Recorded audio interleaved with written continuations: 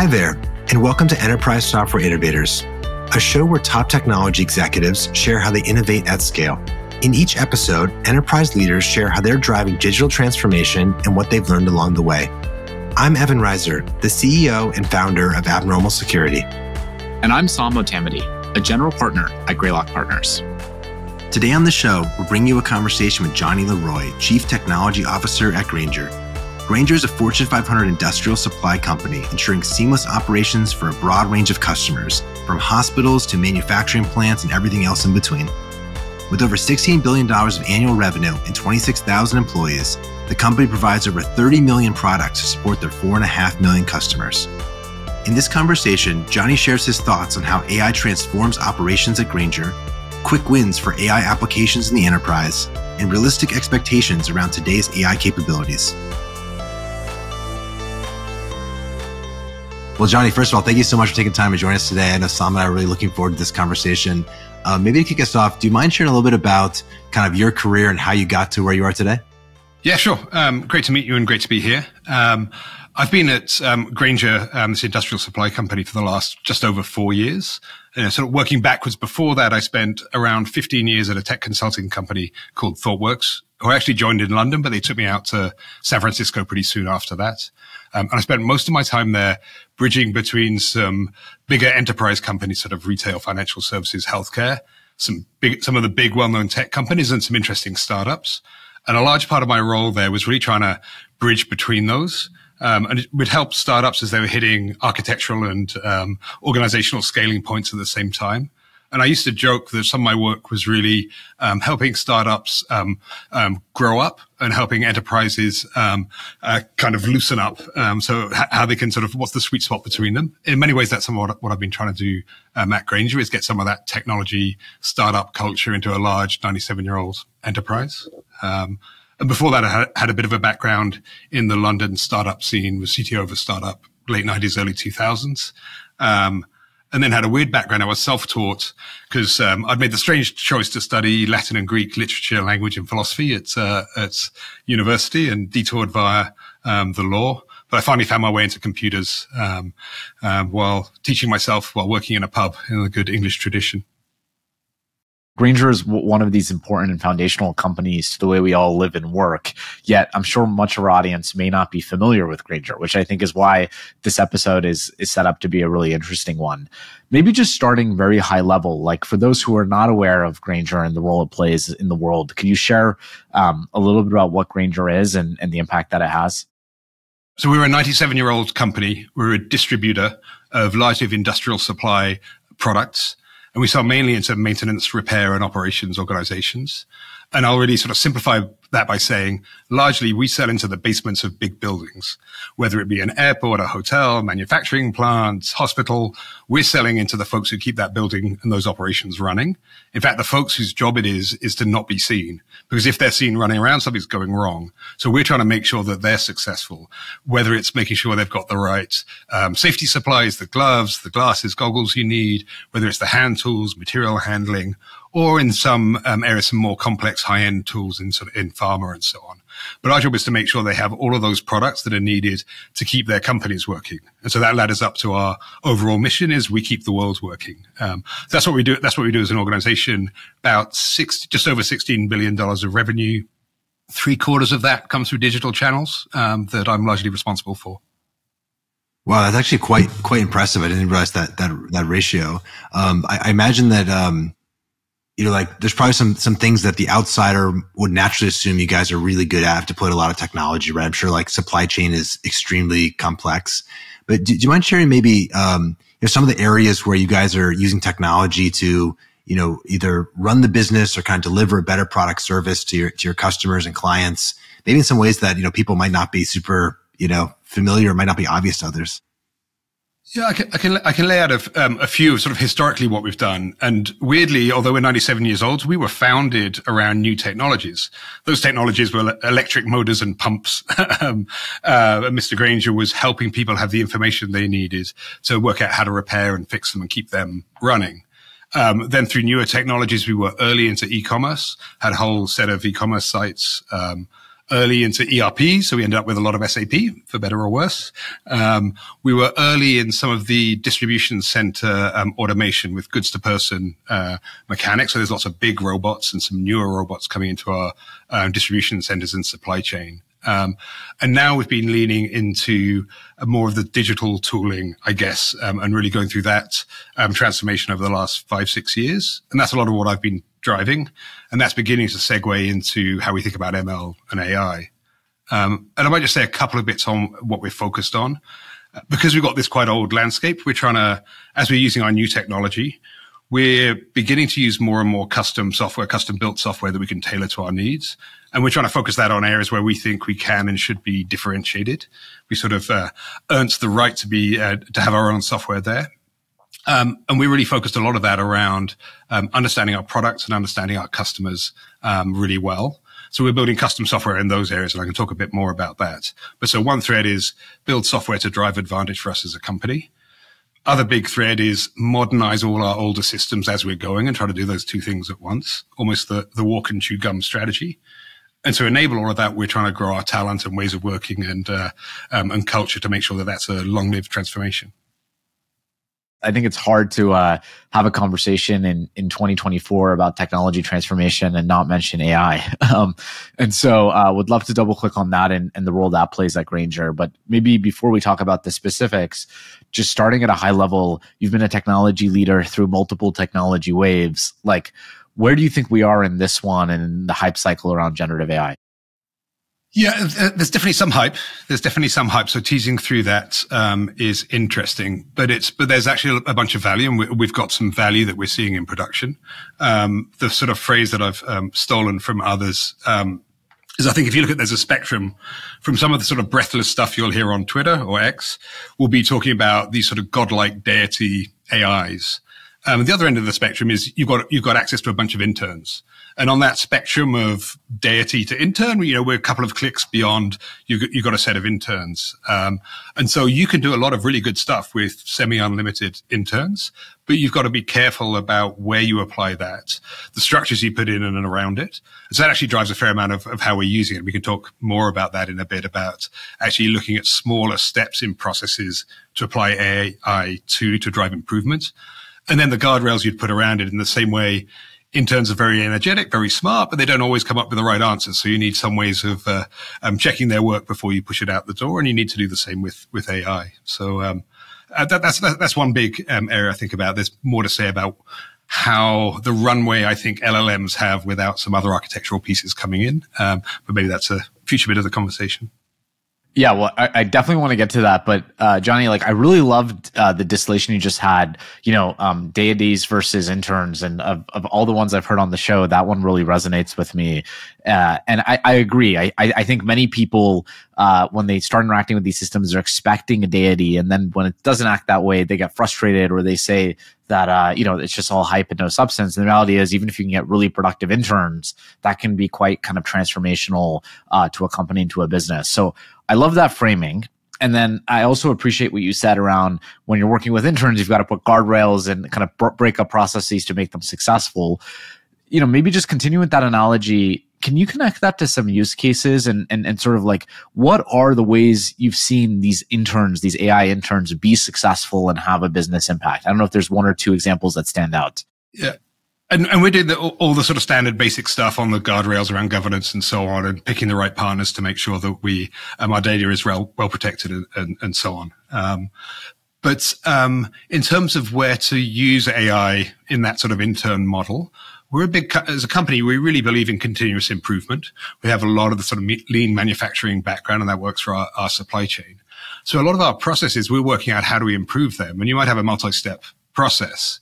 Um, we've been looking for areas where one step in the process is quite painful or um, um, low quality, and we think maybe addressable by AI. Um, so um, a cu- couple of examples I, I, can talk about.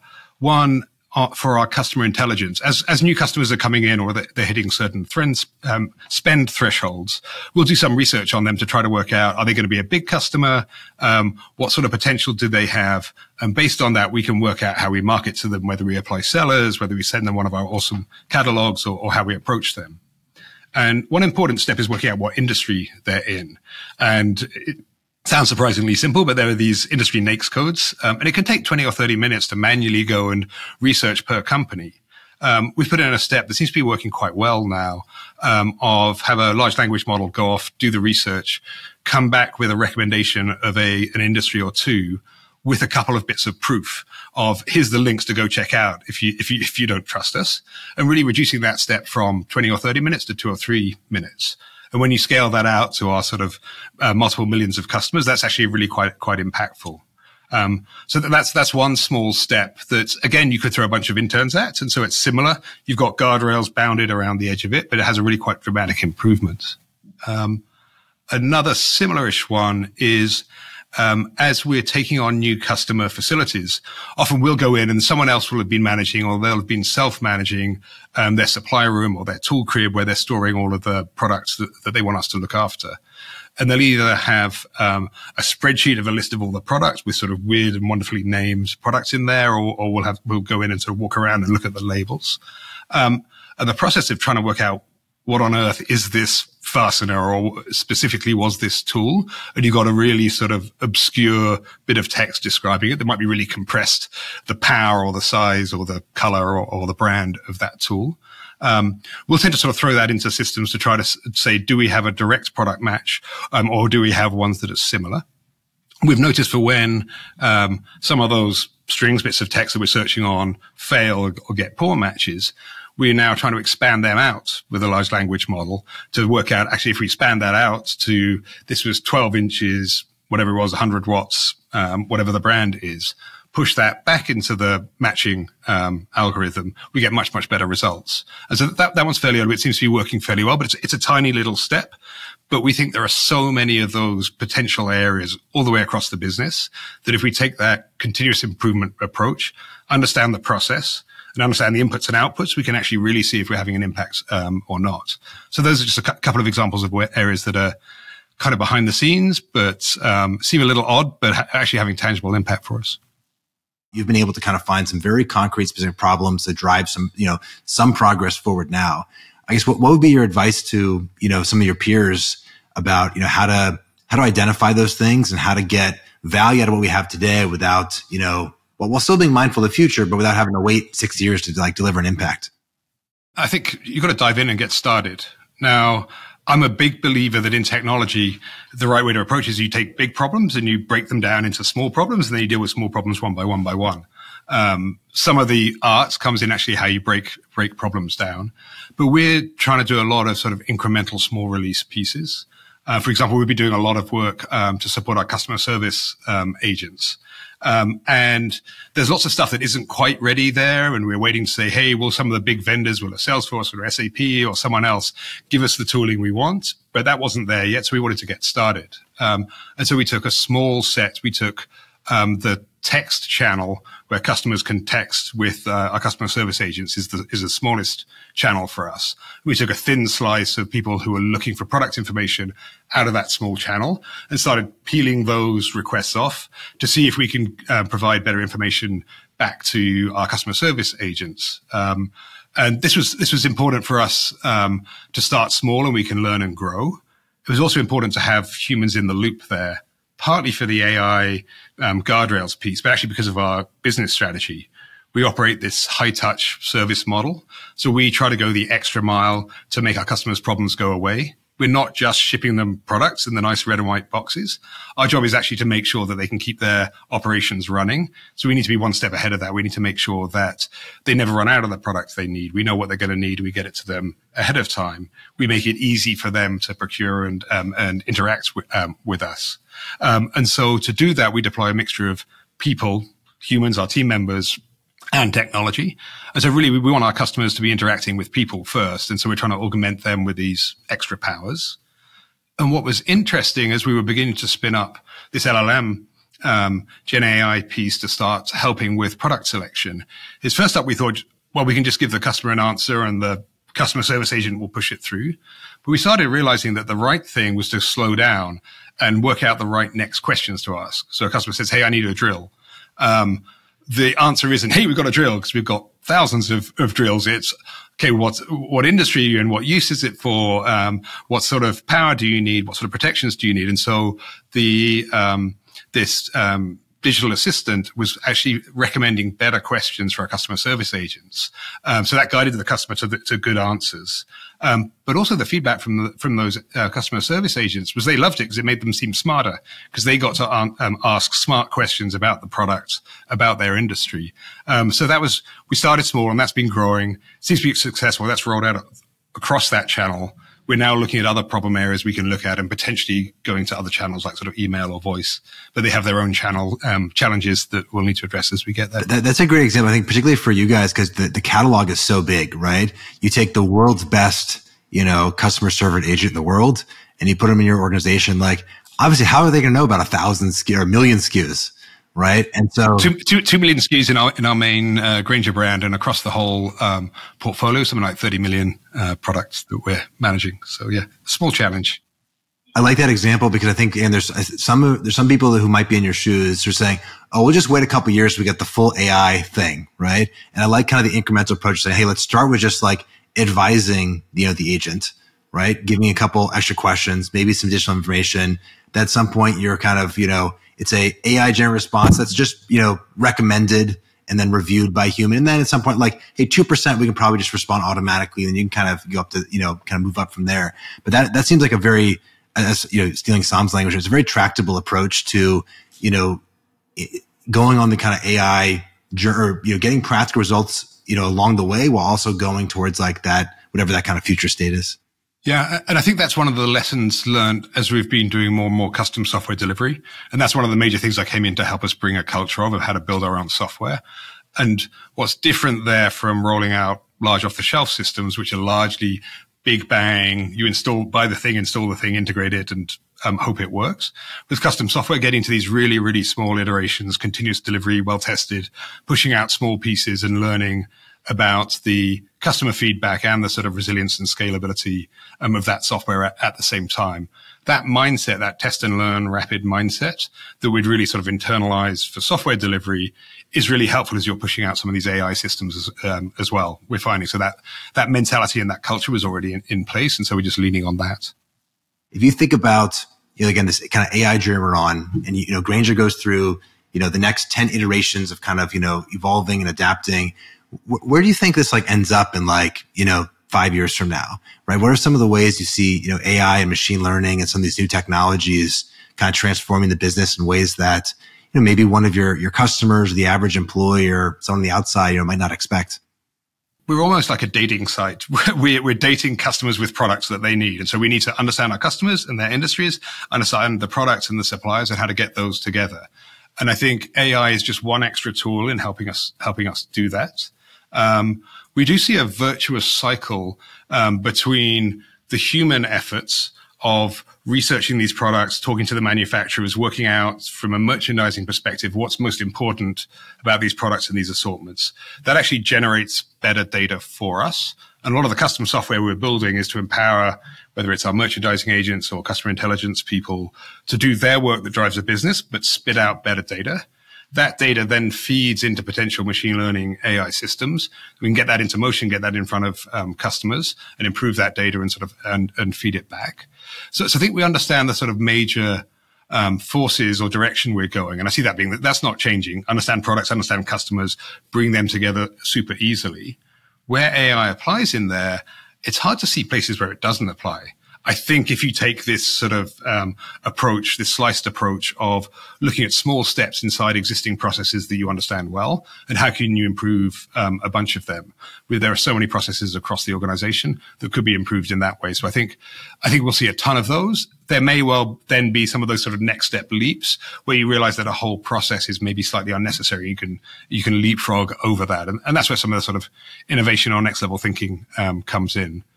And that is actually one of the challenges or opportunities we're looking at in our um, in our technology transformation efforts is challenging ourselves and our business partners to think about how might we want to operate the business if we were unconstrained by our current technology.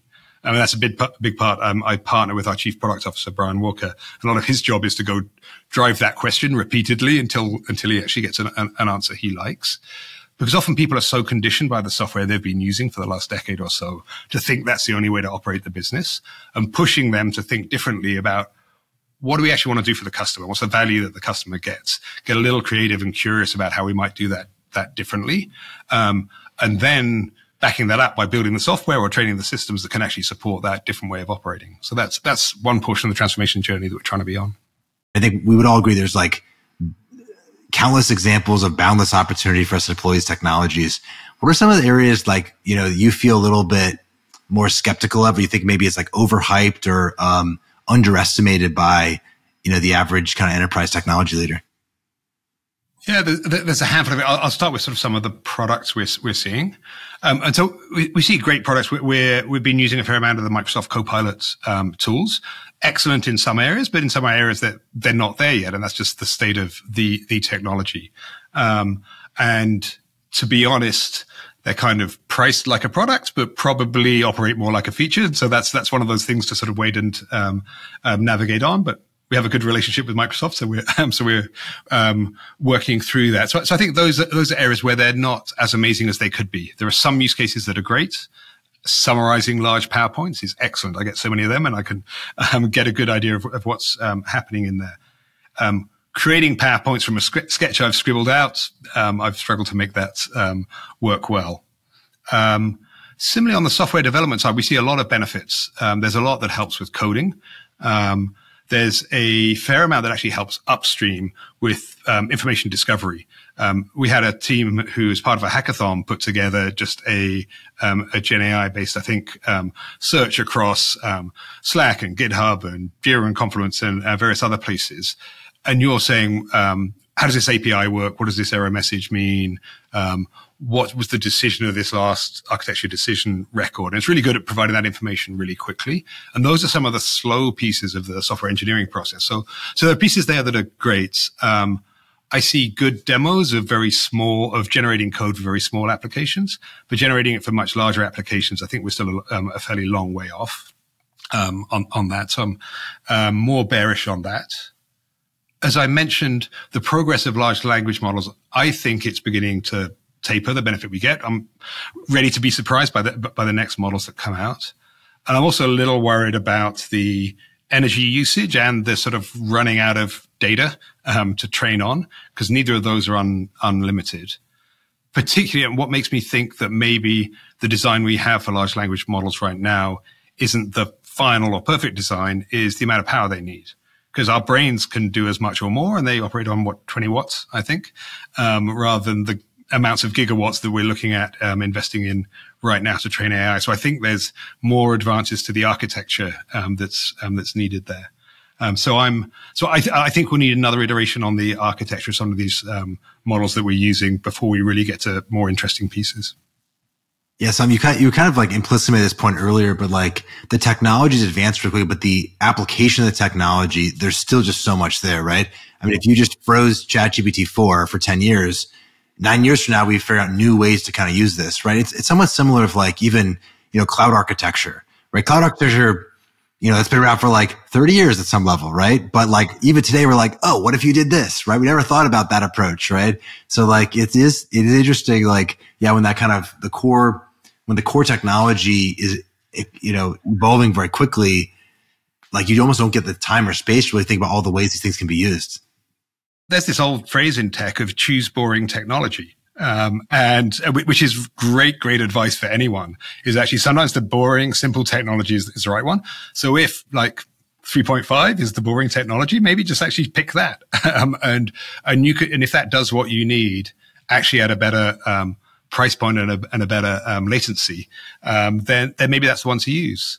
Um, and actually, this is an aside, but actually, as we've been building out our customer service digital assistant, we've been doing some arbitrage across models because while the sort of four generation models are um, higher quality, their um, latency is um, is is a lot worse or more variable. And so we've actually got a couple of steps in the process and we can throw one set of things at a, um, at an earlier model that's cheaper, um, and faster. And then for a more complex piece, then sort of upgrade which model. And so that sort of model arbitrage, even sort of AI FinOps of sort of working out how to manage the finances of which models you're using, that's going to become more and more of a thing.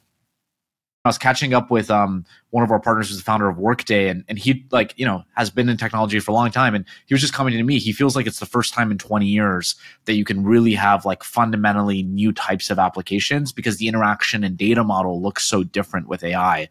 Like that really resonated with me, and then. I think whether it's inside an organization or outside for new companies, figuring out how to actually go do that is like the opportunity of our time. It's exciting, like because that opportunity hasn't existed in a while. Yeah, and I would say the the innovation in a vacuum of hey, I've got a I've got a decent idea to put a startup and a, put a thin wrapper around ChatGPT. Maybe maybe is a little thin or doesn't get traction. Um, we really believe in coupling innovation with a sort of tech innovation with some real understanding of the business problem. And so I think being able to go deep into a business domain is the key. And you couple the tech and say, actually, what's, what's a very specific problem we're trying to solve in supply chain or in marketing or in understanding our, um, our customers and, and apply it there. We've done a bunch of that on computer vision. That's now traditional AI, um, I guess. Um, but um, I think that's where the more interesting innovation happens is getting into understanding a business area and whether that's the you know the semantic layer or the ontology of, of that business. But I think that's that's an area that we'll definitely see more movement on. That also the area just from an entre- the entrepreneur perspective too. Like that that's the area that seems like what way more durable as well because anything that's anything that's a thin layer or even a medium layer on top of ChatGPT, it's like well I be eight's going to do that, right? But if you go into these more niche kind of business problems, you know, the, the core thing there is not just like use a large language model, right? It's like, okay, like what about the hundred other data sets and the operationals that and all the human interfaces and workflows for supervision and like, so it seems like that's where like the more durable opportunity is for, you know, in a technology landscape that's like changing very quickly.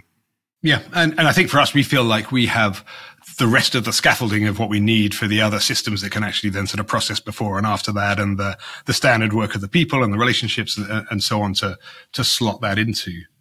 But I, I, think you were touching it just before and then on some of the sort of testing or the scoring um, of models. We've been putting a fair amount of effort into our ML ops, ML platform team. And I'm a big believer in testing and test driven development. And we're having to rethink that for ML and, and AI.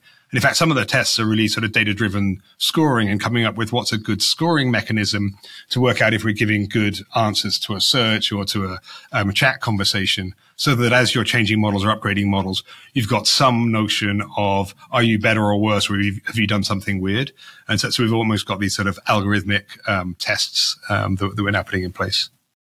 So the one thing we like to do at the end of the episode is do a bit of a lightning round, just trying to get your kind of like one tweet answers. All these questions are impossible to answer in one tweet, so just forgive us and you know hope you'll still talk to us after after the show. But uh Sanjay, want to kick it off for us? Yeah, absolutely. So Jonny, to start on the lightning round, um, how do you think companies should measure the success of a CTO? Oh, ask my boss. um, no, I, would probably break it down into there's probably three things I'd um, I would, if, if you did ask my boss that he would probably say, so one, are we driving tangible value, measurable value for the business on the key strategic areas that we, that we think are in, in, important? That's one. Second one is, do we, by some measure, are we getting better? Um, in terms of effectiveness or productivity, and there's all sorts of traps of trying to measure productivity in um, in technology. But are, are, are, we getting more for what we're putting in and, and spending? And then the final one is a sort of team member one. Are our team members engaged and happy? And do they feel like this is a place they can do their best work? And I think if you're sort of doing well across those three dimensions, um, you're probably in a decent place. What's one piece of advice you wish someone told you when you first became a CTO? um, well, I first became a CTO in, in, in, the late 90s and I was a CTO of myself. And so the, the problems there were different. Um, as a CTO now, um, the pick which decisions you actually make. Um, so I actually think a fair amount about how decisions are made and where and when and by who they're made in an organization. And actually one of my jobs now is to make as few decisions as possible. So really try to design the organization so that you can push decision making down closer to the work. Now, the sort of flip side of that is people have to know when they can't make a decision, they've got to um, bring it back up. Um, and understanding how quickly is this a, a rapid fire two-way door decision, or is this a more complex one that's better to circle that decision? Um, and then, then how you make decisions visible. We use these architecture decision records so we can um, sort of broadcast decisions we're making and have people weigh in on them. But um, the fewer decisions I have to make, the better. Um, and in fact, maybe that's a key metric of how many decisions per day do I need to make, um, or have I set up the organization to be good at making decisions? What do you think most IT leaders underestimate about the opportunity with AI?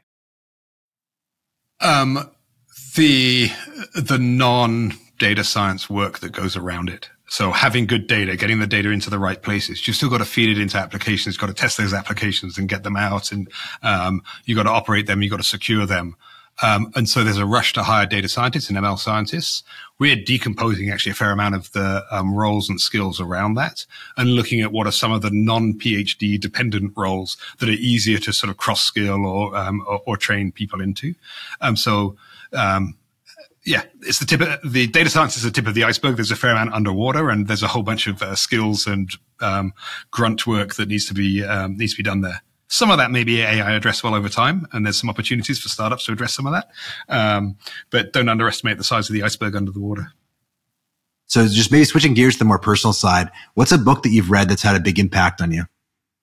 I was a big fan of Zen and the Art of Motorcycle Maintenance because for me that was a real sort of insight into. Um, while I was repairing motorbikes, I saw it very much as the similar work to debug software and some of the mentality you need behind that and some of the joy of that as well and it had a good slice of uh, you know good West Coast hippiness before I moved out to the West Coast. So uh, yeah, yeah, I, I, really enjoyed that book as well. Um, staying on the personal side, what's an upcoming new technology, and it doesn't need to be AI related, that you're personally most excited about? Um, well, I actually love some of the robots we have in our in our distribution centers. Um, they're, they're kind of cool, and some of them have got names. Our favorite one is called Tuna, and he he runs around. But there's these little um, ro- robots um, that we like, partly because they're helping our supply chain get better, partly because robots are really cool. Um, but partly because their power consumption is way lower as well. Um, and so actually the sort of energy impact, we do a whole bunch um, on um, carbon neutrality and trying to improve our um, energy footprint. And these are way lower energy than some of the sort of previous um, conveyance systems we had. So, so I think it's really interesting stuff happening there. Okay. F- final question. I think we're going to have to, you know, um, we'll have to part ways soon. So, what do you think will be true about technology's future impact in the world that most people would consider science fiction? Like looking for a kind of contrarian view, right? What do you think is going to come true that most people be like, ah, that's, that sounds crazy? I think that at the last possible moment, humanity will find a way to address the climate crisis through technology. Um, I used to hope that we could sort of, uh, um, all live sort of simple, um, sustainable lives, but I actually think we need some more aggressive technology um, interventions. Um, it'll be a weird and wonderful future, but I, I, think we will need to, and I think we will, and I really hope we'll be successful. All right. What a great way to end the episode um, with a note of optimism, which I share as well. So, um, yeah, Jonny, really appreciate you making time to chat. Um, really lear- enjoyed learning more about Grainger and looking forward to chatting again soon. Thanks a lot, Jonny. Really appreciated the conversation. That was Jonny LeRoy, Chief Technology Officer at Grainger. Thanks for listening to the Enterprise Software Innovators Podcast. I'm Saam Motamedi, a general partner at Greylock Partners. And I'm Evan Reiser, the CEO and founder of Abnormal Security. Please be sure to subscribe so you never miss an episode. You can find more great lessons from technology leaders and other enterprise software experts at enterprisesoftware.blog. This show is produced by Luke Reiser and Josh Meir. See you next time.